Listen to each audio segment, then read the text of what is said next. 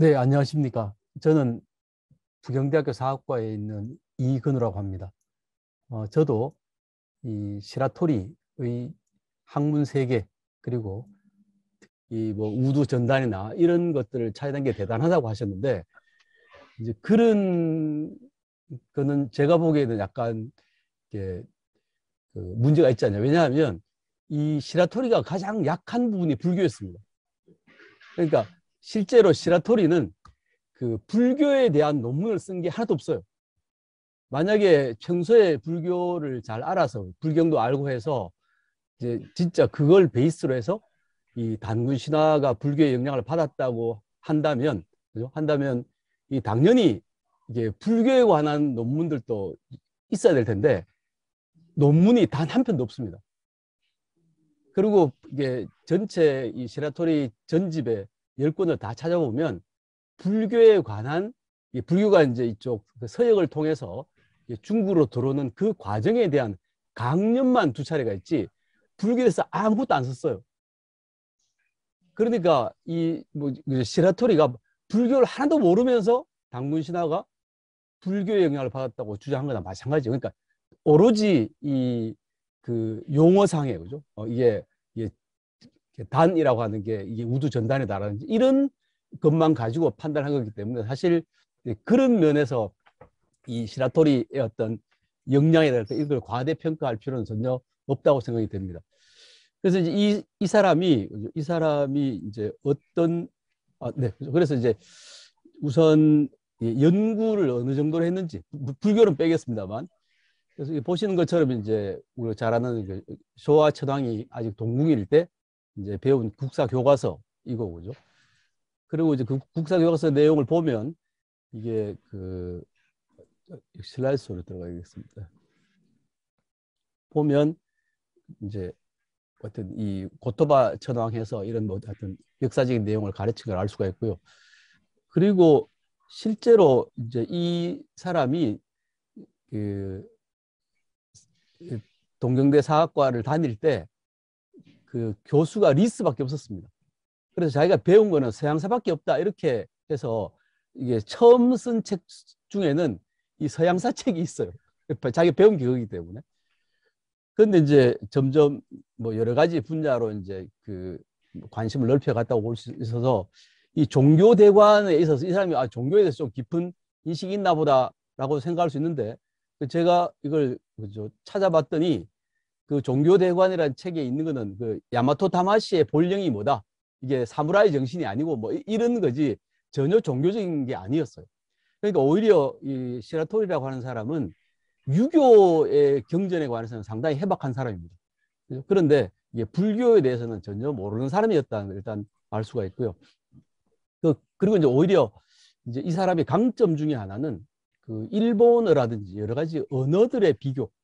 그건 뭐 이렇게 심지어는 뭐 서양 언어 아니면 이렇게 우리가 얘기하는 뭐 우랄 알타이어 이런 전체 어떤 언어들의 연관성 이런 것도 연구를 많이 해서 오히려 이 분야의 연구는 상당히 주목할 만하다라고 평가할 수 있는 부분이었습니다.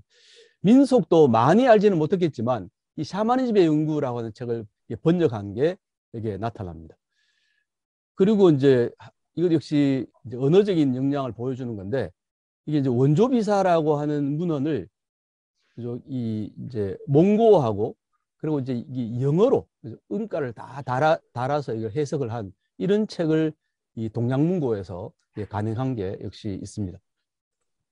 그리고 이제 동서교섭사에도 보면 이게 동서교섭에 있어서 그 유목민족이라고 하는 그래서 이 특히 이제 시라토리의 연구의 장점은 뭐냐 하면 이 동서양의 이게 접점이 뭐냐. 그래서 주로 이게 어떻게 보면 양쪽 다 사실 별로 주목하지 않았던 이 뭐 서역사라든지 아니면 세외 민족사 이런 쪽에 이제 관심을 가졌다고 하는 게 역시 그 사람의 기여라고 하는 기여라고 할 수 있습니다. 그리고 이제 일본 고대 쪽에도 논문을 일, 부 이제 쓴 게 나타나는데 이건 유명한 바로 힘있고 야마타이국이라고 하는 게 이 기내가 아니고 이게 큐슈라고 하는 그런 설이었고 나중에 그 나이토 호난하고 이제 쌍벽을 이루어서 현재까지도 이제 문제로 이어지고 있는 그 기내설과 구주설의 이 이제 단서를 연 사람으로 이제 이 시라토리가 구주설에 선봉했습니다. 근데 이제 그 이유는 이 일본의 천황의 가게에서 중국의 왕조에 가서 이게 조공을 하고 책봉을 받았다. 이거는 천황가의 일일 수가 없다. 이런 이제 가치 판단 때문에 이렇게 주장한 거라고 사실은 우리가 기억해 놓을 필요가 있습니다. 그리고 이제 조선에 관해서는 뭐 여러 가지 논문들 주로 사실은 고대사 쪽으로 관심을 가지고 많이 썼다고 할 수 있는데 여기도 보면 한대의 조선이라고 하는 논문이 이게 시라토리 논문으로 보입니다. 그리고 잘 아시는 것처럼 남만주 철도 회사랑 이게 손을 잡고 이 그죠 이제 만주 역사 지리 이런 것도 연구를 했고요. 그다음 또 이제 그 일본 쪽도 전체 동양사 전체의 관점에서 아시아사 전체의 관점에서 이게 어떤 역할을 했다.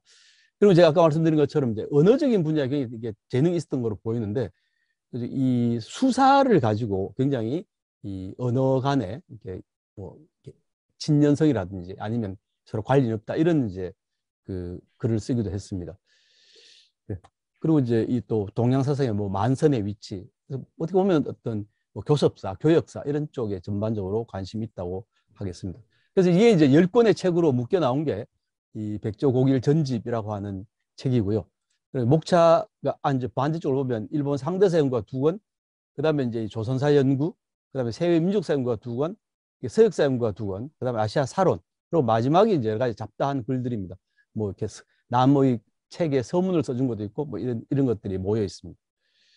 그래서 이제 일권 이제 뭐 일본 이제 아마테 문제, 뭐 힘 있고 문제 이런 것들이 쭉 있습니다, 그죠? 그래서 실제로 이제 여기 그 야마타의 국하고 그다음에 힘 있고 문제하고 그게 다죠. 그리고 신농석이라고 하는 건 이제 우리 주로 그 백제 멸망한 후에 백제 유민들이 쌓은 산성 이런 걸 진농석이라고 해서 그게 좀 이상한 걸 관심을 가졌을 거고 그리고 이제 그 일권의 마지막에 있는 게 바로 신대사의 신연구라고 하는 이게 거의 그 일본 상대사 연구 상편에 뭐죠 그 압도적인 거의 한 내용의 한 3분의 2는 이 한 편의 글이 이 신대사 차지하고 있습니다. 이제 2권이고 해서 그래서 보면 뭐 그죠 사만 정복 이렇게 쭉 있는데 이게 그 사실은 이게 전체가 다 관계돼 있어요. 그러니까 어떻게 보면 신대사의 신연구 한 편 읽어보면 이 사람이 어떻게 연구해 왔는지가 다 짐작이 됩니다. 짐작이 될 정도로 이 진짜 그 아주 방대한 예, 글을 썼습니다. 그래서 한번 뭐 그냥 살펴보시라고 제가 우리 당군고하고 이제 고정쓰고 있죠. 그죠? 그리고도 여러 편의 논문을 많이 썼습니다. 이게. 우리 성읍의 호칭인 꼴이라고 하죠. 홀, 꼴이라고 하는 게 뭐냐.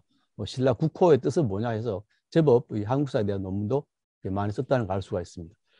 그 다음에 세외민족사는 주로 이제 이 중국 바깥쪽으로 위치하고 있는 그 흉노족이라든지 그죠? 몽골족, 동호족, 숙신, 뭐 시리 하여튼 거의 이제 우리가 현재 연구하고 있는 분야의 거의 대부분을 이 시라토리가 손을 댔다, 건드렸다고 해도 과언이 아닐 정도로 정말 그 미친 연구력을 보여준 사람이라는 측면도 우리가 무시해서는 안 될 것 같습니다. 이게 이제 그래서 뭐 이게 돌궐에 관한 것도 있고 또 여러 문자들도 이제 읽고 해독하고 이런 것도 많이 한 것 같습니다. 서역 이제는 반대로 이제 저쪽 서쪽으로 가서 이 오손이라든지 뭐 서역사 연구 그리고 이제 이런 여기 보면 나오시죠 불교 동점의 전설 불교 동점 사상의 남 문제에 대해서 강연 여지 요지 두 편 이게 불교에 관한 시라토리의 전체 그죠 이렇게 어떤 뭐 저술이나 강연 이걸로 끝입니다. 다른 거는 단 한 편도 없습니다 이 사람이. 그러니까 불교 전적을 뒤진 거는 제가 보기에는 학생들 시켰어요. 어? 똑똑하게 시켜가지고 아니면 뭐 어떻게 승려나 이런 데 시켜가지고 이렇게 자료를 뽑아내라 이렇게 한 거지 제가 보기에는 아. 시라토리가 직접 이 불교 경전을 읽은 것은 아니라고 생각이 됩니다. 그러니까 그런 이제 어떻게 보면 불교 이해를 가진 사람이 단군 신화가 불교 그죠 뭐 불승들이 이게 만들어냈다든지 왜곡했다든지 이런 이야기는 사실 할 자격이 없는 거라고 볼 수 있는 거죠. 그래서 이건 이 당군 신화는 이게 크게 실수한 거다 이렇게 볼 수 있겠습니다. 서역사가 이제 두, 두 편이고요. 그 다음에 이제 아시아 사론인데 뭐 굉장히 다양한 예, 글들이 있습니다. 특히 이제 여기 중에 중요한 거는 이 상서 고등 비평, 특히 이제 요순위에 대해서라고 하는 이 논문이 역시 어떻게 보면 그 당시로서는 이게 파천왕의 신설을 제기한 거라고 할 수 있는데 이게 동아시아라고 하는 특히 이렇게 중국 한자 문화권 속에 있는 사람들은 그죠 2000년 가까이 사실 중국의 고전들을 읽어왔고 그리고 그게 다 사실이라고 믿어왔을 텐데 이 그 시라토리가 이 요순우 이거는 그냥 허구로 만들어진 거다라고 예, 비판을 했습니다. 그래서 뭐 상당히 이제 논란이 많이 된 하여튼 논문인데 그러니까 이제 어쨌거나 육아 경전에 관해서는 이 사람이 상당한 지식이 있다고 볼 수 있고 왜냐하면 그 당시에 이미 일본이 뭐 고학파든 국학파든 아니면 주자학이든 이런 이제 공부들이 상당히 이제 되어 있는 상태였기 때문에 육아 경전에 대한 이해는 좀 있었다고 보입니다. 그리고 역시 아시아 론집인데 뭐 유국 언어도 있고 그죠. 서왕모도 있고 같은 별게 다 있을 때 이걸 보면 사신이라든지 음양 사상에서 이 우리가 도, 이른바 음양 오행이라고 하는 이런 쪽이나 예, 육아 사상에 대해서는 상당한 이 일각이 있었다고 이게 볼 수가 있는 거죠. 그다음에 이제 잡찬입니다만 여기 보면 뭐 서양사에 관한 것도 있고 그죠. 오만 같은 이 잡문들이 이제 있어서 그 그럼 이게 좀 더 이제 그 시류에 따라서 이 사람이 어떤 글을 썼는가를 보여주는 그런 자료라고 하겠습니다. 이게 뭐 누가 죽은 거에 대해서 쓰고 이렇게 했습니다. 그래서 이제 열 권, 그죠? 이제 이 서문들이 보이죠. 그죠? 네. 이 여러 가지 서문들이 있고, 이제 끝에 이제 백조고길 저작 목록이 있습니다.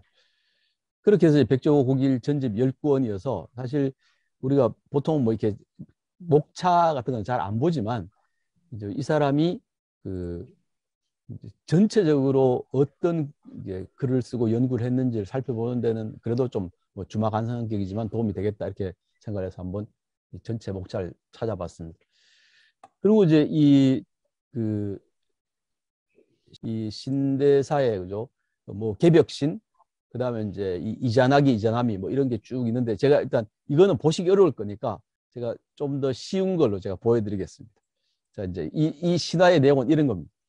이제 이 일본 열도가 이제 탄생하는 과정이 바로 이 이자 낙이라고 하는 남신하고 이자 남이라는 여신이 있어가지고 이 두 신이 이제 그 그죠 창을 가지고 이렇게 그죠 이 하늘에서 다리에서 하늘이 이렇게 걸쳐진 다리에서 이렇게 바닷물을 저 졌더니 거기에 이제 그죠 오노고로 시마라는 섬이 생겼고 그 섬을 이제 근거로 해서 이 두 신이 그 뭐 교합을 했는지 어쨌거나 이제 이 일본 열도가 탄생하게 된다는 그런 이야기를 이제 이게 하는 겁니다. 응. 그래서 뭐 계속 그런 이야기죠. 이게 이 창을 이렇게 들고 있습니다. 근데 보면 창이 약간 독특하게 좀 만들어져 있습니다. 그죠? 예. 형태가 그 우리가 보는 창하고 약간 다르게 생기기도 했습니다만 이건 이제 처음 이제 이두 신이 내려갈 장소를 만드는 거고 여기 이제 두 신이 벌거벗고 있는 거는 이제 이게 서로 만나서 하여튼 이 자식들을 만들었는데 그 자식들이 그 일본 열도의 뭐 섬이나 또는 불의 신 이런 게 된다는 이야기입니다. 그래서 이제 밑에 보면 이제 이자나미라고 하는 여, 엄마 신이 모 신이 이제 죽어서 이제 땅 황처로 떨어지고 거기서 태어난 게 바로 불의 신입니다. 그러니까 불의 신을 낳다가 이제 이자나미가 이제 죽었다고 하는 거죠. 그래서 이제 이 이자나미를 찾으러 이제 이 황천국으로 갔습니다.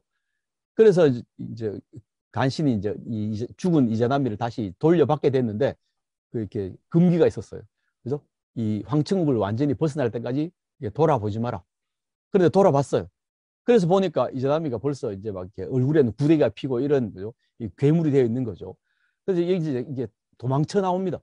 그래서 막 도망쳐 나오다가 그 드디어 이제 그 현재 큐슈에 이제 미야자키 현이 있는 그쪽에 이게 진짜 이렇게 강과 바다가 만나는 곳에서 그 황천국에서 입은 이게 더러움을 씻어내는데 그 여기 씻고 있는 모습이 보이시죠?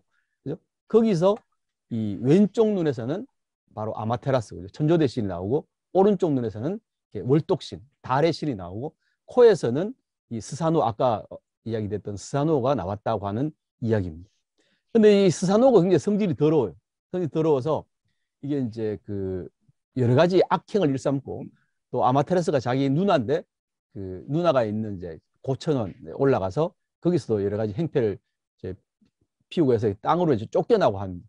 그래서 이 사노라는 신이 굉장히 복잡한 성격을 가지고 있어요. 그러니까 아마테라스는 그냥 가만히 이제 태양신으로 가만히 있는데 이 신은 여기저기 왔다 갔다 하면서 여러 가지 일도 많이 일으키고 또 한편으로는 이렇게 바다를 이, 이 지배하는 신이면서 우리 그 포세이돈 같으면서 또 한편으로는 이게 야미노쿠니라고 이거는 이제 왜냐면 하데스 같은. 이 지옥을 또 관장하는 그런 신과 굉장히 복잡한 성격을 가지고 있습니다. 그래서 이제 이 스사노하고 뭐죠? 바로 이 아마테라스 두 사람이 만나서 이 서로 이제 내가 누나를 해치러 온 게 아니다. 야 그러면 네가 증 저이 입증을 해봐라. 이렇게 해서 태어나는 신들의 모습을 보여줍니다. 그래서 이, 여기서 태어난 신 중에 중요한 게 바로 그 우리 저기 큐슈의 북쪽에 가면 그 무나카타 진자라고 신사가 있고 그 신사가 이렇게 있는데 거기에 새 여신이 바로 이 스사노와 아마테라 사이에서 태어납니다. 그래서 뭐 계보 같은 걸 제가 좀 찾아왔습니다만. 자, 그러고 나서 이제 그 이 스사 어, 아마테라스의 그 손자에 해당하는 니니기라고 하는 이제 이 손자가 드디어 이제 하늘에서 이게 땅으로 내려옵니다.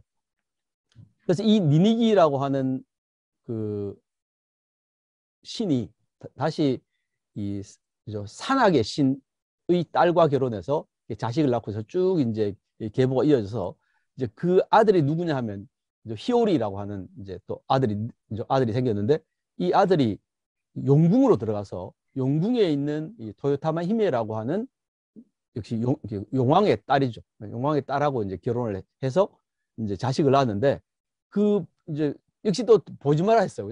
아이 낳는 걸 보지 말라고 했는데 들여다 보니까 그 상어가 이제 아이를 낳고 있는 거죠. 그래서 이 상어에서 태어난 아이가 그 이제 그죠 그 후끼 후끼야 하여튼 뭐뭐뭐 뭐, 뭐 아이즈 하여튼 좀 이름이 이상 아 왕, 어, 우가야 후끼 아이즈라고 하는 이름이 긴 이제 아들인데 이 이제 사람이 다시 자기 이모랑 결혼해서 낳은 게 바로 신무천왕입니다. 그렇게 쭉 계보가 이제 이어지는 이야기를 가지고 있어서 이게 굉장히 계보가 복잡합니다. 복잡한데 이걸 이제 이 시라토리가 제가 보기에는 이 일본 그 일본 서기와 고사기에 있는 신화적 이야기를 시라토리만큼 우리가 합리적으로 이해할 수 있게 풀어낸 사람이 아무도 없는 것 같습니다. 제가 보기에. 그래서 이 언제 쓰여진 책이 어쨌거나 뭐 그죠 하여튼 1920, 30년대 정도 쓰여진 것 같은데 이 책이 2015년에 새로 발간이 됐습니다. 그럴 만 한 게 이게 전혀 제가 읽어봐도 이게 옛날에 100년 전에 썼다고 도저히 믿을 수 없는 예, 그런 정도의 예, 역량을 발휘한 사람이에요. 그러니까 제가 보기에는 단군 신화를 쓸 때는 이 아직까지 그죠? 이만큼 성숙되지 못했어요. 그런데 자기 일본 신화를 쓸 때는 일본 신화학 자체에 대한 이해도 깊어졌고, 그죠? 그리고 이제 이 여러 가지 언어적인 것도 또 뭐 이렇게 뭐또 이렇게 민속 이런 것도 이해를 하게 되면서 훨씬 이 자기들 신화는 이 풍부한 지식을 가지고 썼다고 하는 게 느껴집니다. 그래서 이걸 그냥 이 시라토리의 연구니까 단군 신화도 신화 연구고 일본 신화도 신화 연구니까 이걸 그냥 그 대등한 선상에 놓고 이건 이렇게 보고 이건 이렇게 보고 이중적이다 이렇게 과연 이야기가 되는 건지 약간 주저가 되는 측면이 있습니다. 그래서 이제 이 의도는 뭐라고 생각하냐면 이런 아주 복잡한 이 신들의 계보를 만든 이유는 이 천손 하늘에 이제 아마테라스의 후손이라고 하는 천황가의 이제 조상들이 그죠? 바다의 신하고도 혈연 관계를 맺고 있고 다시 이 신 산국 산이 있는 그쪽의 사람들과도 이제 관계를 맺고 그리고 이제 뭐 이즈모 쪽하고 관계를 맺고 모든 이 적대하는 세력들과 이렇게 우호적인 관계를 맺음으로써 비로소 이 일본 전국에 대한 지배권을 확립했다는 것을 보여주는 그러니까 그게 뭐 현실이든 현실이 아니든 간에 그걸 주장하고 있다고 생각하는 거죠. 그래서 이 이제 하나는 바로 아까 이 용궁에 가서 이 악어 아니 악어래 상어랑 결혼해서 자식을 낳았죠. 또 이제 산에 가서는 산에 가서 자식을 낳고 이러는 건데 그런 계보라고 하는 겁니다. 그리고 이제 다소 이제 이 시라토리가 이게 모자라는 연구는 뭐냐면 고고학이에요. 고고학에 대해서는 이 사람이 그 흔히 뭐 고고학까지도 이렇게 섭렵한 걸로 말을 하지만 제가 보기에는 이 고고학 자료는 크게 많이 인용되지 않고 뭐 금성문 정도까지는 이 사람이 해박한 사람이었다고 이렇게 생각을 할 수가 있습니다. 그래서 그 과연 그죠? 과연 그 이자나기가 이 그 오노고로시마라고 하는 그 그죠 섬, 섬을 찾을 때 사용한 창이 뭐냐? 그거 충분히 짐작할 수 있습니다. 여기 보면 여러 종류의 창이 있고 그죠? 여기는 이제 이게 살상용 무기로서의 이게 창이 있지만 그 이쪽으로 오시면 보면 이 살상용 무기를 아주 짜, 짧은 모로부터 이 모가 점점 커져 가지고 완전히 뭐 굉장히 넓은 이 모가 생깁니다. 그래서 이 모의 단계에 가면 이거는 그 더 이상 살상용 무기가 아니고 제기나 의기로 쓰입니다. 그리고 이게 마침 굉장히 이게 앞이 넓으니까 우리 이렇게 뭐 국자로 이렇게 국을 젓듯이 충분히 바다를 저을 수 있겠다는 생각이 들겠죠. 그래서 이 이제 그 이자나기 이자나미에 등장하는 이 창이라고 하는 것은 바로 일본에서 그 야요이 시대에 사용했던 야요이 시대에 사용했던 이 동모로 볼 수 있다는 겁니다. 그런데 이 동모, 동탁 이런 게 이제 야요이 시대에 만들어지다가 고분 시대로 들어가면서 이 청동기는 같은 청동기를 사용하지만 그 청동기의 주된 상징물이 달라집니다. 그게 뭐냐 하면 거울이에요. 바로 아마테라스는 아마테라스는 아까 이야기한 이자나기 이자나미 하는 그 국토 생성의 신으로부터 이제 그 이제 자식이 해당, 해당 하죠. 그러니까 그 고기가 사실 우리가 단군 신화에서 보는 것처럼 시대가 나누어지는 겁니다. 나누어져서 그 아마테라스는 태양의 신인데 이 태양의 신인 아마테라스가 동굴 속에 숨어서 이제 일식이 된 상태에서 이 거울을 가지고 비춰가지고 이렇게 뭐 되돌려 다시 이제 해를 살리고 하는 이런 이야기가 여기 신화 속에 있는데 굉장히 많은 거울이 등장합니다. 뭐 여러 가지 종류의 거울들이 일본에서 출타하는데 그, 그만큼 이 신화 속에도 등장하지만 이게 그 어떤 고분 시대라고 하는 4세기 정도에 들어오면 일본에서 거울이 뭐 사회 문화적으로 중요한 의의를 갖게 됐다고 하는 걸 알 수가 있고 그래서 이렇게 이제 이 복원을 하면 진짜 이게 번쩍거리는 우리 다 청동에서 녹이 쓸어서 그렇지 이걸 이제 그냥 현재로 주문을 하면 이런 상태고 이게 크기가 이런 정도의 크기입니다. 그러니까 저 우리나라에서는 이렇게 큰 동경이 뭐 거의 안 나오, 거든요 그러니까 그건 왜 그러냐 하면 이게 우리는 완전히 실용적인 도구로 이제 거울도 쓰이게 된 반면에 일본은 아직까지도 이런 이제 신화적인 뭐 이런 측면에서 또는 뭐 이게 제기나 이런 걸로 이게 중요하기 때문에 거울은 지속적으로 만들어진 것으로 보입니다. 그래서 이제 일본 이제 천황이 즉위할 때 여기 보니까 검세 등의 계승의 의례라고 해서 이제 그 일본이 공식으로 천황에 즉위할 때 이 그 자기 천황 가문에 이 레갈리아 그죠 이게 삼종 신기를 받게 되는데 그 삼종 신기의 거울 그죠 검, 옥 이 세 가지가 있습니다. 그죠? 그러니까 이, 이, 사실 일본 현재 일본 천황가라고 하는 건 여전히 어떻게 보면 이 일본석이나 고사기에 있는 일본 신화에 구속되는 존재라는 측면이 분명히 있는 거죠. 음. 그래서 마지막으로 이제 이 그 시라토리가 어떻게 이 자기들의 신화를 연구를 했느냐 하는 걸 제가 쭉 정리를 좀 해봤습니다. 이게 좀 내용이 좀 많아졌습니다만 그냥 그 엄청난 자료들을 인용합니다. 엄청난 자료를 인용해서 이게 뭐 그 중국에 있는 여러 가지 문헌들뿐만 아니고 각 나라의 신화에 등장하는 이런 것들을 이제 원용해서 하고 있기 때문에 그러니까 지금 아까 말씀드린 것처럼 이게 단군 시대를 이용하면서는 자기가 직접 보지도 않은 불경만 불경도 인용하고 이렇게 한 연구하는 이 차원이 달라졌다라고 이야기를 할 수가 있습니다. 그리고 이제 이게 그 있는 그대로 받아들이지 않습니다. 신화라고 해도 이게 그죠 이자나기 이자나미 같은 게 하늘에서 이렇게 뭐 휘휘 저을 수가 없잖아요. 그러니까 이거는 본체는 이게 거대한 나무이고 그죠 그게 이 진짜 엄청 높으니까 이게 그죠 하늘에 닿아 있는 것처럼 이게 그렇게 보이는 거다. 그래서 이 이제 거기서 뭐 천조대신은 태양이고 또 올독신은 달이고 스사노는 바람이거나 이게 대지의 신이고 대국주신은 이게 원래는 이 국토, 그 땅의 그죠? 어떤 홀령을 뜻한다. 이런 식으로 이걸 전부 다 그 어떻게 보면 납득이 될 만한 걸로 이제 그것도 어느 정도 근거를 제시하면서 설명을 하고 있습니다. 그래서 이 신대사에 나오는 여러 가지 신이 그죠? 어, 실제로는 이게 자연물의 혼, 그 속에 들어있는 이게 뭐 그죠? 애니마이거나 아니면 그것을 의인화한 것들이고 어떤 거는 그냥 관념 자체, 그죠? 아, 아 뭐 사납다라든지 이런 거죠. 무섭다 이런 것에도 이렇게 신의 이름을 붙였을 거다 이렇게 이제 이야기를 해서 그 그냥 근데 이제 그렇게 생각하지 않으면 절대로 이 일본 신화 속의 여러 가지 이야기들을 납득할 그 이해할 수가 없다 이렇게 이제 이야기를 했습니다. 그 신찬 성취록에도 잠시 했고 어, 이거 아까 나온 겁니다. 음. 그 다음에 어, 어, 뭔가 순서가 잘못됐나. 네. 그래서 그 이 신 일본의 어떤 일본 서기 같은 데서 그리고 있는 이 그 세계는 현실의 세계가 아니라 그냥 상상 속에 아니면 관념 속에 있는 세계다라고 이제 설명을 하고 있습니다. 뭐, 그리고 조금 복잡한 이야기입니다만 어느 걸 보여드는지 제가, 제가 정리를 좀 해봤더니 이게 세계가 굉장히 복잡해요.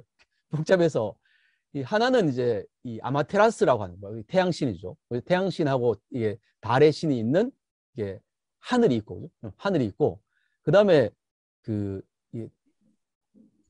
황천국이라도 할 수 있고 땅의 땅, 땅 속에 있는 나라라고 할 수 있는 이제 이 야미 요미노쿠니라고 하는데 그 거기에 주인공은 이제 스사노이고 그리고 이제 그 가운데 바로 하늘과 땅 사이에 있는 인간들이 사는 세상 그죠? 여기에는 이제 원래 이 대국 주명이라고 하는 거죠. 예, 이 스사노의 아들입니다만 이게 지별 아, 후손입니다만 이게 지배를 하고 있었는데 나중에는 이 천조 대신에 자손이 내려가서 여기를 지배하게 된다. 또 이제 이 물속에는 용궁이 있는데 그죠? 그 용궁에 있는 이렇게 신과도 이렇게 혈연 관계를 맺고 있다. 그리고 또 다시 하늘과 땅 사이에 있는 이 공간은 평지가 있고 산이 있고 또 뭐 강도 있고 아주 멀리 떨어진 공간도 있어서 그런 게 이렇게 평면적으로 나열됐다 하는 이런 굉장히 복잡한 이 우주관에 의해서 뭐 세계관에서 만들어진 신화들인데 그 왜 이런 식으로 배치했냐에 대해서도 이 그 시라토리가 설명을 하고 있습니다. 그래서 이제 이 천손이라고 하는 바로 일본 천황가의 이게 조상이라고 하는 것은 그죠? 이 그 자기들이 생각하는 세계 속에 있는 모든 나라나 지역과 혈통적으로는 하여튼 뭐 이렇게 다 연관을 가지고 있다. 그래서 전부 이렇게 우호적인 관계를 형성을 했고 그리고 그 중에서 그 가장 존귀한 존재는 역시 아마테라스와 그 자손들이다. 그러니까 결국은 이제 천황가가 일본을 지배하게 하는 당위성 또는 이런 이제 지배하는 현실을 설명하기 위한 그 이야기로 만들어진 게 일본의 신화다. 이렇게 이제 설명을 하는 겁니다. 그래서 너무 길어져서 끝으로 가겠습니다. 두 가지만 말씀을 드리면, 예, 그 시라토리는 일본 신화도 사실로 보지 않았습니다. 그거는 이게 정신적, 사상적 산물이고 이게 중국 사상의 영향도 강하게 받고 있다. 그러니까 음양론 같은 거 특히 이제 그렇게 생각을 합니다. 그 다음에 이게 신화는 일정 정도는 역사적 사실을 이제 반영을 하고 있지만, 그죠? 한편으로는 역사적 상황을 해결하고 설명하기 위한 것이다 라고 이야기를 했습니다. 결국은 이제 일본 신화라는 게 일본 천황가의 일본 열도된 지배권을 어떻게 형성하고 그리고 그 지배의 당위성은 이런 과정을 통해서 성립됐다. 그러니까 결국 이 모든 게 일본에 있는 각 지역의 세력들은 천황가에 복종하라고 한. 그러니까 제가 볼 때는 제가 이걸 처음 읽었거든요 이번에. 그 복잡했던 이 일본 서기의 신화의 구조가 비로소 제가 이해가 됐어요. 제가. 그러니까 이 책이 진짜 2015년에 다시 이게 발간될 만하다. 그리고 그 제가 연도는 정확히 모르지만 제가 책을 먹고 있는데 이 시라토리의 신화론이라고 하는 책이 또 간행이 돼 있어요. 그러니까 지금 이 사람이 한 어떤 연구보다 사실 주목받고 있는 게 일본 신화에 대한 연구입니다. 거기에 이제 뭐 언어학적인 거 동원하고 좀 이 민속학적인 것뭐 여러 가지 뭐또 신화학에 대해서 이 사람이 비교적 관심이 있었던 것 같아요. 아마 단군 신화를 쓰고 그랬을지는 모르겠습니다만. 그죠? 그리고 이제 이 좀 더 전체적으로 보면 그 정말 이게 뭐 실증이라고 하는 것 자체가 문제이긴 하지만 이 동원할 수 있는 모든 자료를 동원해서 이 이제 자기들 진화도 설명을 하고 있다. 그리고 이제 또 이 이 1890년, 1900년대 이럴 때는 아직까지도 일본이 이게 뭐 이 유럽과 비교하면 여러 가지 이렇게 이제 뒤떨어진다고 생각하고 있는 상황이기 때문에 자신들도 이 유럽의 동양학계에 진출해서 우리도 이게 괜찮은 연구를 하는 나라다. 이런 걸 좀 인정받고 했습니다. 인정받고 싶어 했어요. 그래서 그 이제 시라토리 같은 경우는 그런 이제 서구적인 학문의 영향을 받아서 이제 일본의 그 종래 한학 이걸 아주 강하게 비판하는 측면도 있습니다. 비판하고 그리고 또 한편으로는 이제 중국하고 비교하면 자기들이 우월하기 때문에 그 요수누 같은 이런 중국에서 전, 전통적으로 숭상해왔던 이런 성, 뭐 성분들이 할까 그죠? 이런 존재들도 진짜 이건 허구라고 이렇게 비판을 했던 거죠. 그리고 이제 이 뭐 잘 아시는 것처럼 그 만주 역사 지리 연구 이런 거나 이런 내용은 이제 일본의 어떤 만주 침략이라든지 아니면 동아시아 이렇게 뭐를 통일할 통일하려다도 대동아 공영권 이런 걸 만들어 가는데도 이제 기여했던 게 사실이 아닌가 생각이 됩니다. 예, 저는 아직까지 공부를 하고 있는 단계여서 이런 정도 말씀을 드리겠습니다.